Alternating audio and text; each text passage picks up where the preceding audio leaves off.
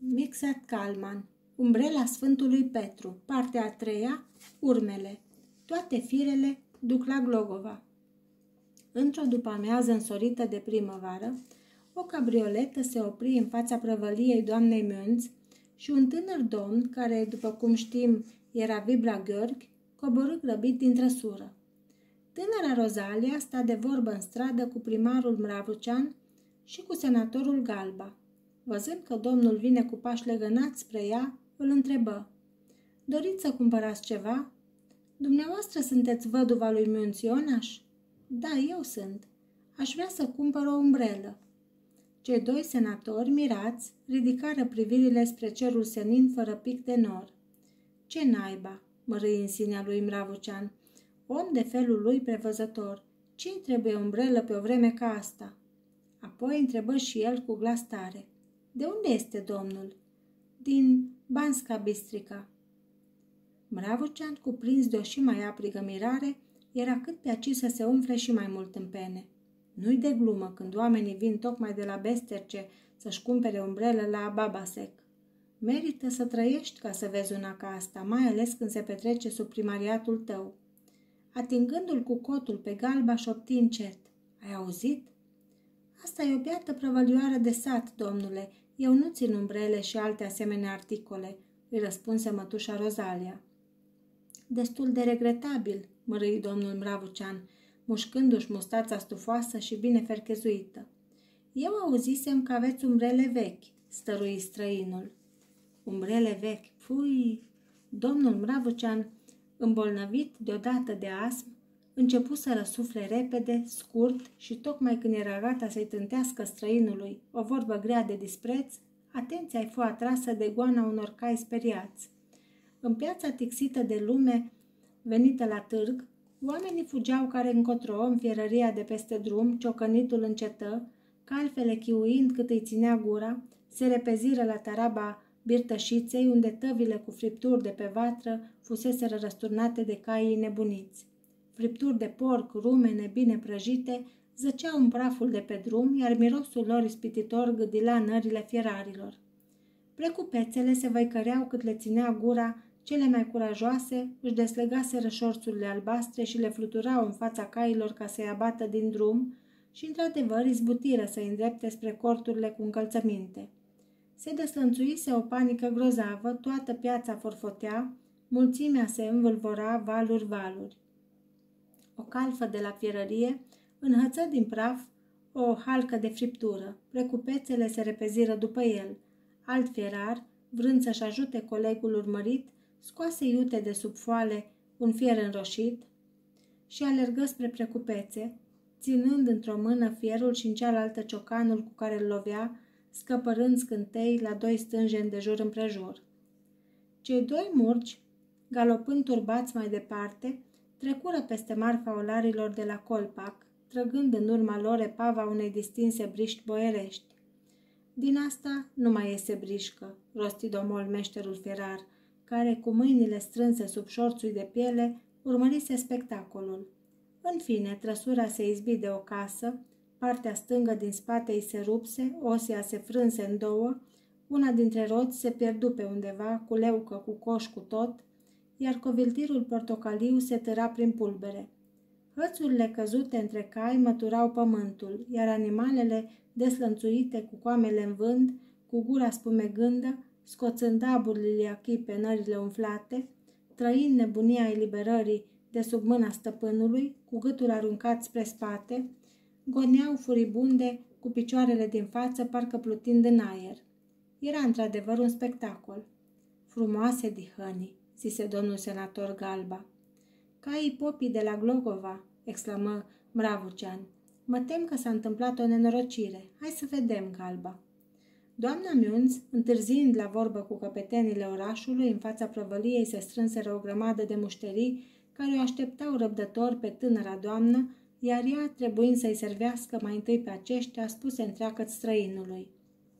Umbrele vechi ar fi de bună seamă, s-ar găsi câteva prin pod, dar alea nu sunt pentru un domn distins ca dumneavoastră. E, totuși aș vrea să le văd.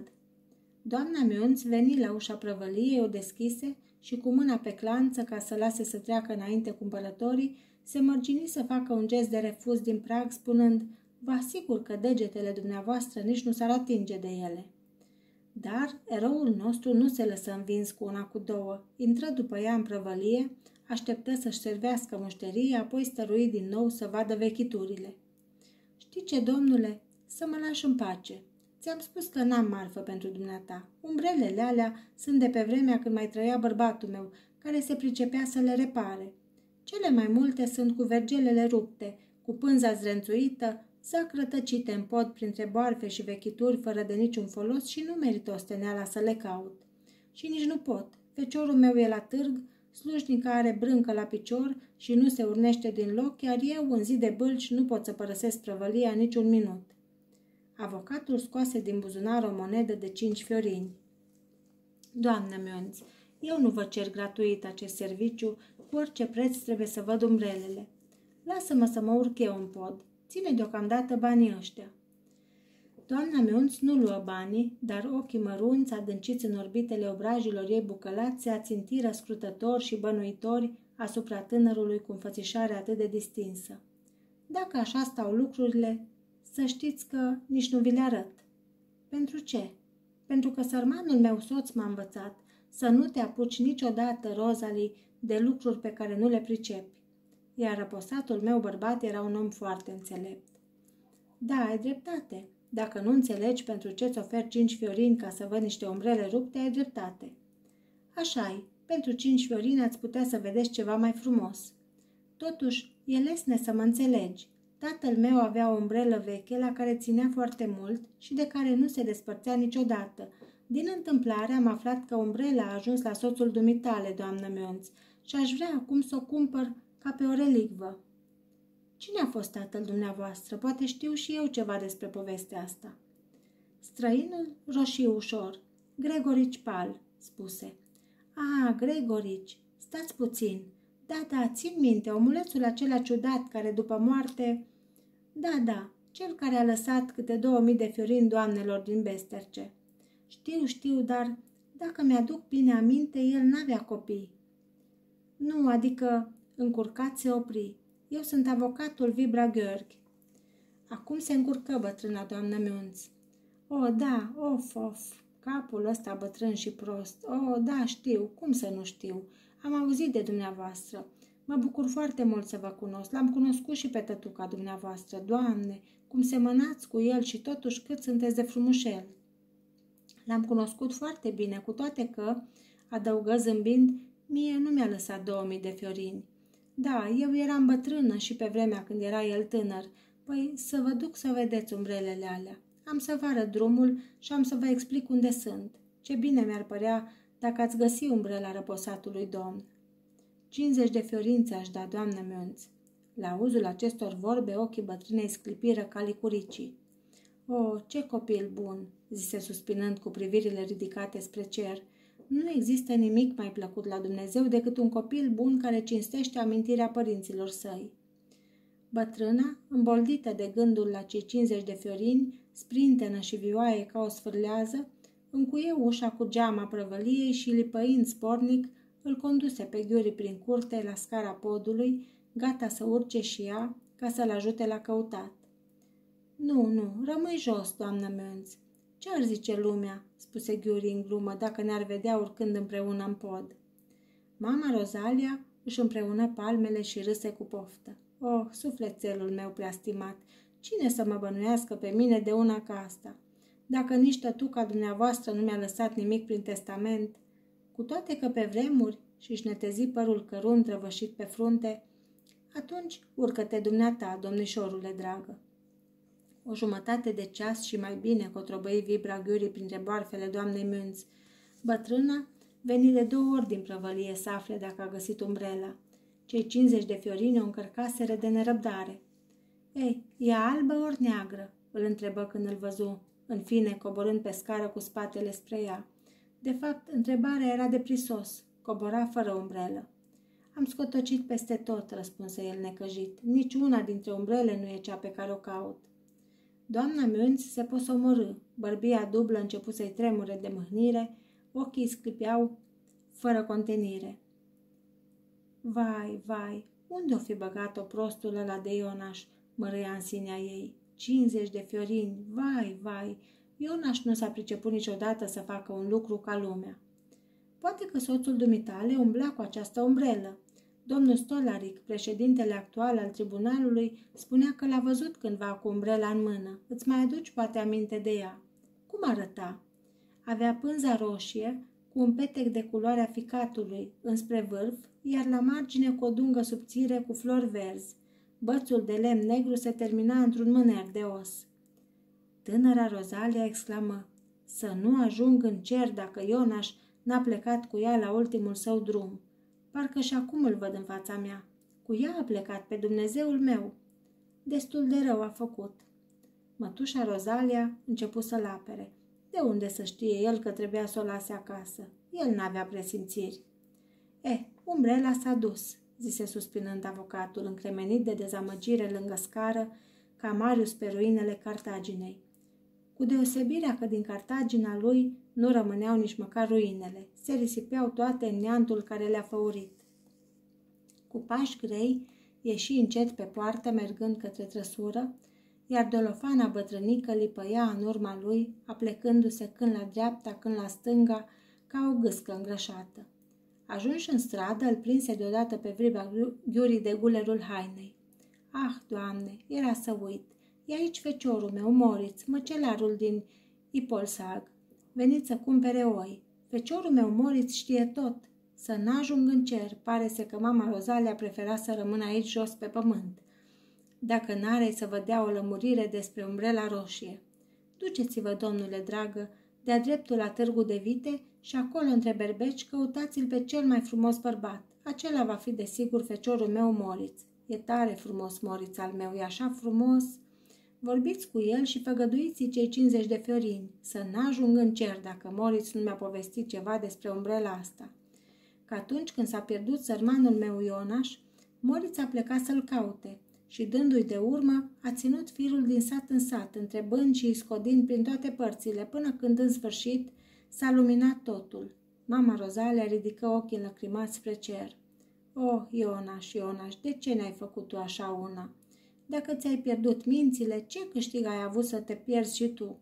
Minte au destulă feciorii tăi. Vibra Ghiuri, gata să se agațe și de un fir de pai, trecu iute fără o vorbă printre corturile cu opini și încălțari de pâslă până în spatele bisericii unde se ținea târgul de vite. Întrebând apoi pe unul și altul, îl găsi ușor pe Miunț Moriț, un omuleț mărunt, gras și îndesat, cu fața pistruiată ca un ou de curcă. Era pocit ca un faun. De brâu îi atârna o bucată de oțel în formă de pajură, iar pe brațul drept avea tatuat un cap de bou. Tocmai se târguia pentru o vacă cu coarnele grebeșe, grebleșe. Vânzătorul, un cojocar din lest, se jura pe cei mai sfânt că nu există om viu în Babasec care să fi cumpărat vreodată o vacă ce s-ar fi putut măsura cu asta. Asta mănâncă și paie, zise, și tot de 11 căni de lapte pe zi. Aiurea, răspunse disprețuitor Miunț Moritz. Eu nu-s vițel să sug la ea, mie n-are rost să mi-o lauzi că e lăptoasă, eu sunt măcelar, vreau să o tai și să o vând. Păi, dacă e așa, ai dreptate, zise împăciuitor cojocarul și mai scăzut cinci fiorini din preț. Pe semne că scăderea îi se păru prea mică lui Moritz, pentru că pipăind vaca pe toate părțile, o bătu odată cu palma pe spate. E numai oase, se răsti ciudat. Apoi, desfăcându-i fălcile, o cercetă la gură și la dinți. Păi, asta nici nu mai are dinți. Ce vorbește domnul despre dinți? se răsti cojocarul de bună credință. Doar n-ai de gând să-i vinzi și dinții. Văd că dihania dumitale dă și cu piciorul. E, și ce? După moarte n-are să mai dea. Și bag seamă că numai după moarte ai să o vinzi cu bucata. Cojocarul, om cinstit, râse de propriile vorbe și bine dispus mai scăzu prețul cu cinci fiorini. Pe semne că nici acest căzământ nu-l mulțumi pe Moritz, care continuă să cerceteze pe Bubocca, descoperindu-i tot alte cusururi, în timp ce vibra ghiurii, apropiindu-se, zise pe ungurește. Vreau să vă vorbesc, domnule Münz. Văzându-și târgul întrerupt, cojocarul se sperie și mai lăsă cinci fiorini din preț. Istețul Moritz, care de obicei cumpăra vitele mai către seară de pe la proprietarii disperați ce nu găsiseră să-și vândă animalele până la vremea aceea, făcut târgul. Ce dorește domnul? Vreau să cumpăr de la dumneata un lucru care nu e nici al meu și nici al dumitale. Păi, mărfuri de-astea sunt destule pe lume, zise Moritz râzând. Puteți fi sigur că vă fac un preț convenabil. Să ne tragem o leacă mai departe. Ieșiră din înghesuiala târgului și se duseră lângă fântâna publică a orașului, la adăpostul coroanei bogate a unui frasin, pe care nobilul oraș îl împrejmuise cu un gărduț și pusese și două bănci alături, considerându-l ca făcând și el parte din măreția viitoare a babasecului. Frunzele subțiri și lunguiețe ale frasinului fusese invadate de niște gândaci verzi aurii cu miros de mosc, foarte căutați pentru prepararea unor medicamente. Astfel încât, cantaridele, cum le denumesc savanții, pot fi argumente în plus față de autoritățile ierarhice ca să se deschidă odată și odată și în Babasec o farmacie. Până nu de mult, nevestele tinere din Babasec duceau adeseorul cele pline cu asemenea gândăcei la Zolium, unde farmacistul le cumpăra pe câțiva crețari. În ultima vreme însă, nobila conducere a orașului a dat o decizie prin care a interzis respectivul negoț pe motiv că arborele acesta cere o farmacie. Scoaterea gândacilor din oraș este interzisă. Prevăzătorul Mravucean învățase bine lecția. Ghiuri povesti lui Moritz pe scurt ce vânt îl aducea. Dorința de a regăsi o amintire scumpă, umbrela îndrăgită de tatăl său și pe care bătrânul Ionaș o purtase înainte de moarte. Știi ceva despre ea?" Știu," răspunse Moritz cu oarecare răceală, pentru că mare fu dezamăgirea aflând despre ce fleac era vorba. Îți ofer 50 de fiorini dacă mă ajut să o găsesc. Moritz, speriat, își scoase tichia de pe cap. 50 de fiorini pentru o umbrelă veche. A, ăsta trebuie să fie prințul de Coburg de la Sentandal, își zise. Dintr-o privire, văzu că domnul era foarte bine îmbrăcat. Umbrela se poate găsi, spuse cu un avânt neașteptat. Pe urmă se gândi o leacă și mai domolit adăugă. Așa socotesc. Spunem tot ce știi.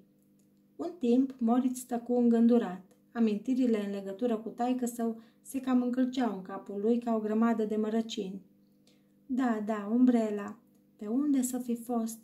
Sunt 14-15 ani de când a dispărut tata.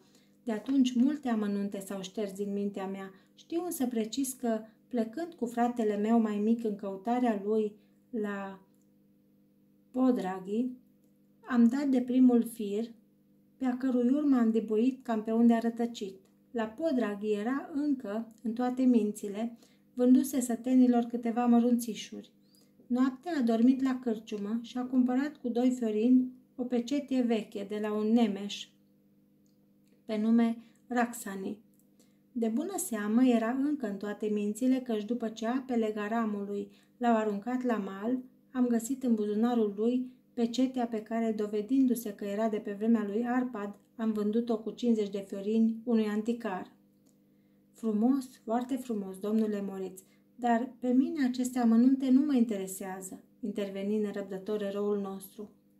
O să vedeți mai târziu cât de interesante sunt. Se prea poate, dar nu se referă la umbrelă. Ba, zău că se referă și la ea. Ascultați-mă cu luarea minte. La Podraghi am aflat că de acolo plecase la Abelovar. Așa că ne-am dus și la Abelovar. Din cele auzite aici, am început să bănuiesc că bătrânul se smintise. Totdeauna cam suferise el de un fel de alean. Oamenii ne-au povestit că le dăduse sătenilor câte patru creițari noi pentru un creițar vechi cu îngeri. Mai târziu însă am înțeles că bănuiala mea n-avusese temei. Cum? Încă nu-și pierduse mințile? Nu, pentru că la câteva zile în urma lui au trecut prin Abelovar doi ovreiași tineri care duceau cu ei câte o desagă de creițari cu îngeri pe care cei din Abelovar i-au schimbat cu băncuțe de câte trei creițari, întrucât văzuseră că pe creițarii cu îngeri căpătaseră patru creițari noi. Deci se prea poate ca... Nu se prea poate, e sigur, că cei doi tineri șarlatani l-au pus pe cinstitul meu tată să cumpere creițarii cu îngeri și astfel, fără să vrea, se făcuse complicele lor. S-ar putea totuși să nu mai fi fost chiar în toate mințile, al minter nu s-ar fi lăsat păcălit. Dina Belovar, trecând prin pădurea de mesteacăn de la Visocahora, s-a dus la Dolinca, unde n-am putut să aflăm nimic deosebit despre purtarea lui, deși petrecuse două zile acolo. Dar e sigur că în satul următor, la Strecno, copiii se țineau după el, bagiocorindu-l ca odinioară pe prorocul Ilie, și el, deschizându-și traista, nu profetul Ilie, ci taică meu, a zvârlea în ei cu marfa pe care o avea de vânzare. Nici peste 50 de ani nu o să uite cei din Strecno ziua aceea în care săpunurile de cocos, salbele de mărgele, bricegele și muzicuțele cădeau ca mana cerească în mijlocul poporului. De atunci, după câte am auzit, a rămas la ei zicala, numai odată a trecut prin Streșno un evreu nebun. Dă-l dracului de Streșno, să revenim la subiect. Păi acolo suntem. La Cobolnic, unde se află un turn roșu, oamenii l-au văzut pe sărmanul meu tată fără boccea, fluturând într-o mână un ciomag și în cealaltă o umbrelă, ca să se apere de câinii asmuțiți asupra lui. Așadar, la Cobolnic mai avea încă umbrela. Pe chipul pistruiat al lui Moritz începură să curgă lacrimi. Așa de mult îl emoționaseră și strânseră inima aceste amănunte, încât până și glasul îi devenise mai năbușit, iar vorba îi se înmuiase cu totul. Apoi și eu și fratele meu am umblat cercetând pretutindeni prin partea locului, dar abia la Lehota am aflat ceva despre el. Într-o noapte furtunoasă de vară, bătuse la ușa pândarului care locuia în capul satului, acela însă, când a văzut că e evreu, l-a gonit. Acolo nu mai avea nici umbrelă, nici pălărie. Nu mai avea decât cârja, cu care de atâtea ore a alergat după noi în copilărie. A, da, încep să înțeleg de ce ai făcut atâtea ocoluri. Ai vrut să-mi demonstrezi că umbrela s-a pierdut între Cobolnic și Lehota. Da, eu te cred, domnule Moris, dar asta e egal cu zero. Poate că tatăl dumitale a pierdut-o în codru, ori printre stânci. Și în cel mai fericit caz, dacă o fi găsit-o cineva, o fi dus-o în mijlocul lanurilor ca să-și împopoțoneze și mai urât sperietoarea de ciori.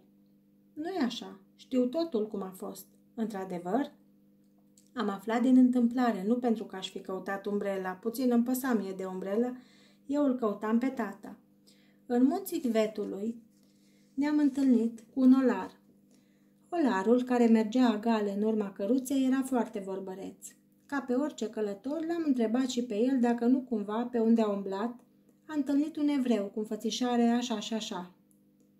Bazău l-am văzut, a răspuns. L-am văzut cu săptămâni în urmă la Glogova. Taman sub o rupere de nori, l-am văzut cum a deschis umbrela și a așezat-o deasupra unui copilaș uitat în ploaie sub streașina unei case și apoi și-a văzut de drum. Avocatul exclamă înviorat. Aha, continuă, spune mai departe. Nu este niciun mai departe, domnule. Nu știu decât atât, dar asta e sigur. Descrierea olarului nu lăsa nicio îndoială, era fără doar și poate tatăl meu și afară de asta Glogova se află chiar între Lehota și Cobolnic. Iată o informație prețioasă, zise avocatul și scoase din portofel o hârtie de 50 de fiorini. Ia te rog pentru bunăvoința dumitale, Domnul să te binecuvânteze. Și o zbughi ca un prepelicar care în sfârșit adulmecase urma. Haide, înainte! Sări peste un gard ca să taie calea mai de-a dreptul printre tufișurile de ienuperi, să iasă repede în drum și să ajungă de grabă la trăsură. Ce n-ar fi dat să poată zbura? Merse, merse, trecu de corturile cu turtă dulce, se opri un minut în dreptul unei rogojine așternute pe jos, unde legătorul de cărți de la Zolium vindea tipărituri trase de Matița din Turețen Marton și citi în fugă printre rânduri dintr-o poezie populară slovacă. Toți slovacii știu, nu-i taină ce spun, cel care-ți vrea răul nu ți-e prieten bun. Când odată Miunț Morris răsări iar în fața lui. Mă iertați că mă țin după dumneavoastră, spuse, dar m-am gândit că aș putea să vă dau un sfat bun. Ascult. Sunt o mulțime de glogoveni aici la târg și dacă domnia voastră, nu știu dacă m-am adresat bine, ați spune să se bată toba, te-ai adresat perfect, răspunse avocatul. Și ați anunțat că sunteți dispus să răsplătiți bine pe cel care va da ceva informații despre întâmplarea de acum câțiva ani cu umbrela, Sunt convins că într-o oră ați afla lucruri precise. Într-un sat mic ca Glogova, oamenii știu tot ce se petrece. N-are niciun rost, zise avocatul, pentru că am să mă duc eu însumi la Glogova chiar acum. Totuși îți mulțumesc pentru bunăvoință. Ah, domnule, eu vă mulțumesc. Mi-ați plătit împărătește pentru un fleac. Mi-e și rușine. Dați-o încolo, 50 de fiorini. V-aș fi povestit totul și pentru un fiorin. Avocatul zâmbi. Iar eu ți-aș fi dat-o, ți-aș fi dat și o mie, domnule Moritz. Acestea zise, coti în grabă pe lângă poarta albastră a casei Șramec, în fața căreia ispititoarele neveste din Zelevnic vindeau șiruri lungi de alune, funii de ceapă și alte asemenea zarzavaturi stivuite în grămezi mari. Moritz îl urmări dus pe gânduri până îl pierdu din priviri. Ar fi dat și o mie de fiorini, îl zise uluit. Apoi, clătinând din cap, se întoarse agale la juncana cumpărată de la cojocarul din lest.